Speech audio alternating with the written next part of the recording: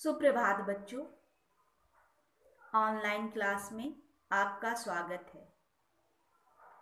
मैं आपके समक्ष एक नया अध्याय के साथ उपस्थित हुई हूँ। हिंदी साहित्य के बुक में अध्याय संख्या टेन और इस अध्याय का नाम है आज्ञा का पालन। इस कहानी में आपको लाल बहादुर शास्त्री की जीवनी के बारे में बताया गया है। लाल बहादुर शास्त्री के बारे में कौन नहीं जानता? लाल बहादुर शास्त्री एक सच्चे देशभक्त थे, जिन्होंने भारत के दूसरे प्रधानमंत्री के रूप में काम किया। वे भारत के महत्वपूर्ण नेताओं में से एक थे,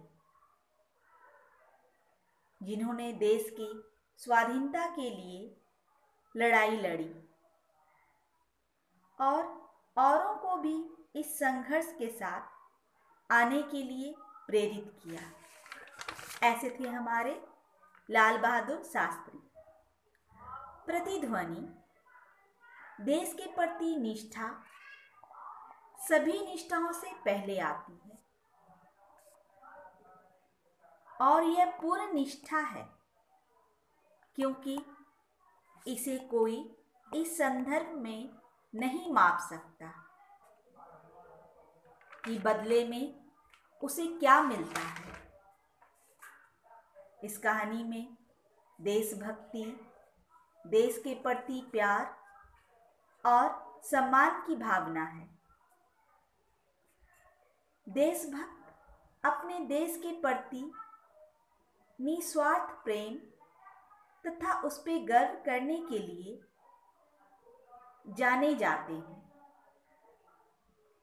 तथा जो अपने देश के विकास के लिए कुछ भी करने को तैयार रहते हैं। ऐसे थे हमारे लाल बहादुर शास्त्री। यह आकाशवाणी है। अब आप प्रधानमंत्री श्री लाल बहादुर शास्त्री का देश के नाम संदेश सुनिए। लाल बहादुर देश के नाम एक संदेश दिए हैं।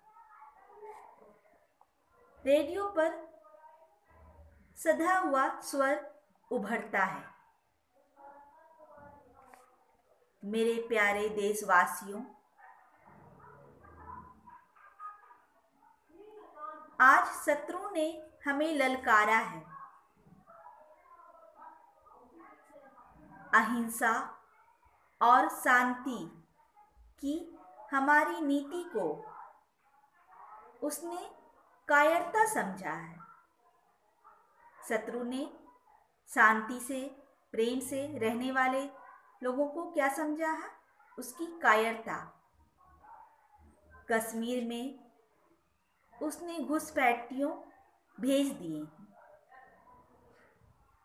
और सीमा पर भारी हथियारों से हमला कर दिया है। हमारे वीर सैनिकों ने उनका मुँह तोड़ जवाब दिया है। उन्होंने शत्रु की ईंट से ईंट बजा दी।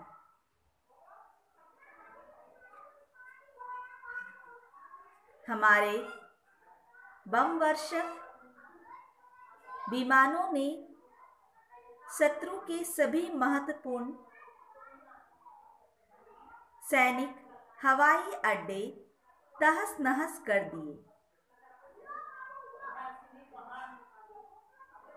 शत्रु। अमृतसर में सुबह की चाय पीने और दिल्ली के किले में रात्रि भोज के सपने देख रहा था। हमने अपने सैनिकों को लाहौर में चहलकदमी का आदेश दिया है। वे अब लाहौर का दरवाज़ा खटखटा रहे हैं।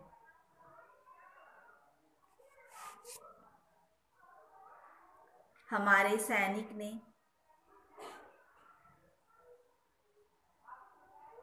अपने रक्त से बलिदानों का जो इतिहास लिखा है, उस पर सारे देश को गर्व है।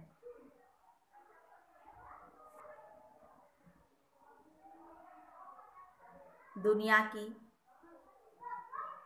कुछ बड़ी शक्तियों को हमारी प्रगति फूटी आँख नहीं सुहाती।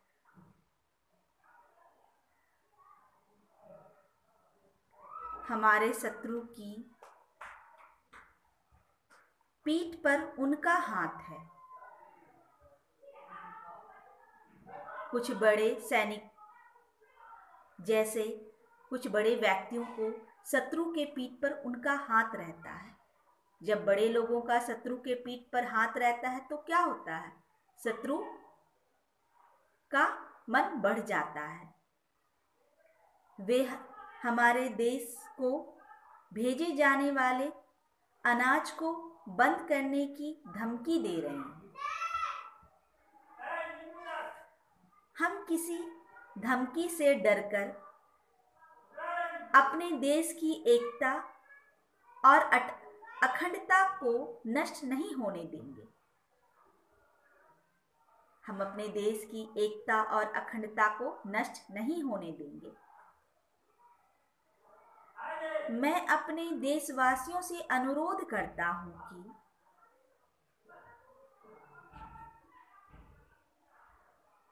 आज से वे सप्ताह में एक दिन, एक समय ही भोजन करें, ताकि देश को अनाज का अभाव का सामना ना करना पड़े। मैं अपने देश के किसानों से अनुरोध करता हूँ कि वे धरती को अपने परिश्रम से और अधिक सींचे। उनके परिश्रम से हमारी धरती इतना अधिक सोना उगलेगी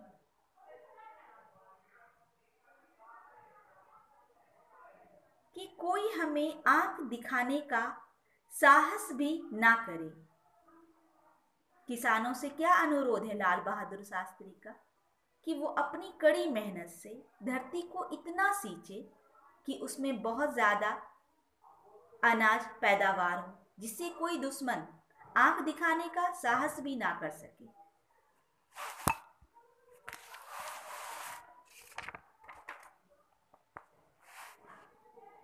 जय जवान, जय किसान, जय हिंद।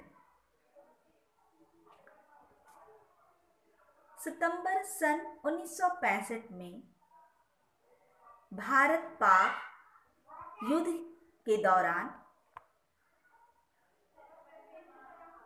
प्रधानमंत्री के ऐसे प्रेरक शब्दों को सुनकर। सारे देश में राष्ट्र प्रेम की भावना उत्पन्न हो गई।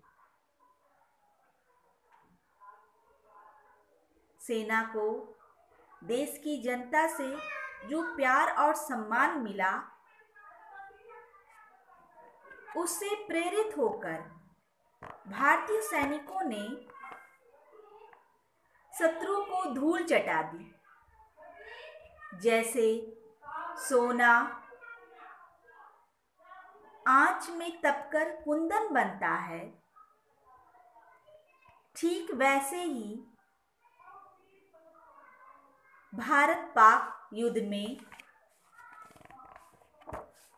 लाल बहादुर शास्त्री का व्यक्तित्व उभरा।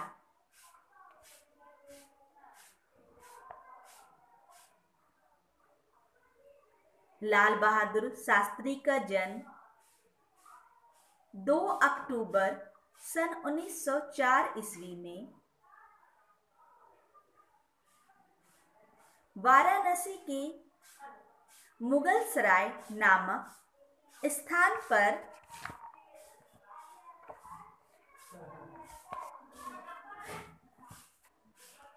एक अत्यंत साधारण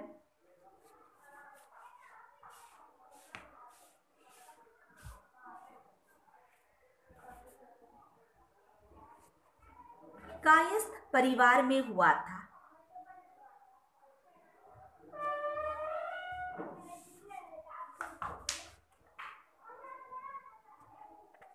डेढ़ वर्ष की अवस्था में पिता का स्वर्गवास होने पर इनका लालन पालन नाना के घर पर हुआ।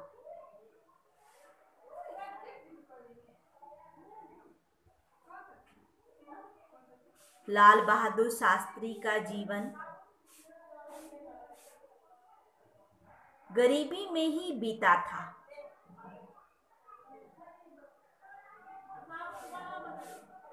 किंतु गरीबी उनकी आत्मा को कुचल नहीं पाई।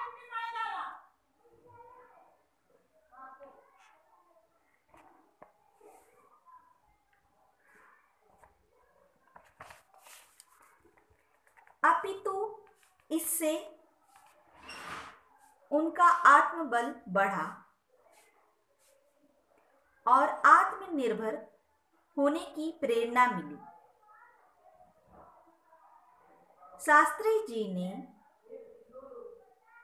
स्वभावलंबन का पाठ बचपन से ही पढ़ लिया था। वे अपने कपड़े स्वयं धोते तथा अपने जूतों की मरम्मत भी वे स्वयं करते थे।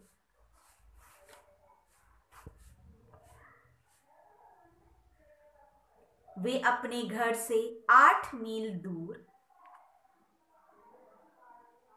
अध्ययन हेतु विद्यालय जाते थे।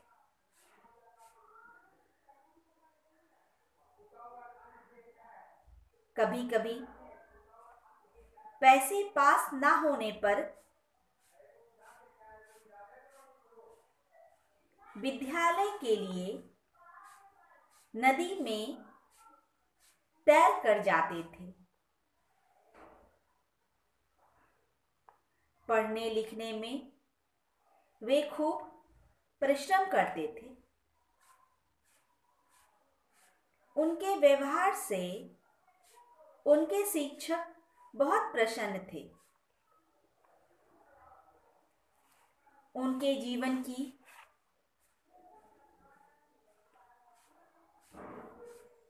अनेक ऐसी घटनाएँ हैं जो उनके व्यक्तित्व की गरिमा को व्यक्त करती है। उनमें से कुछ प्रसंगों का उल्लेख करना अनुचित नहीं होगा। प्रथम घटना उस समय की है जब वे उत्तर प्रदेश के गृह यातायात मंत्री थे। एक दिन घर लौटते पर उन्होंने देखा कि घर की पिछली दीवार तोड़कर कूलर लगाया जा रहा है। घर के बच्चे इसलिए आनंदित थे। घर के बच्चे इसलिए आनंदित थे कि वह उन्हें ग्रीष्म की तपती लू से झुलसना नहीं पड़ेगा। किंतु शास्त्री जी ने दृढ़ता से कह दिया कि उन्हें कूलर की आवश्यकता नहीं। वे कहते थे कि मंत्रियों का जीवन सादगी और त्याग युक्त होना चाहिए।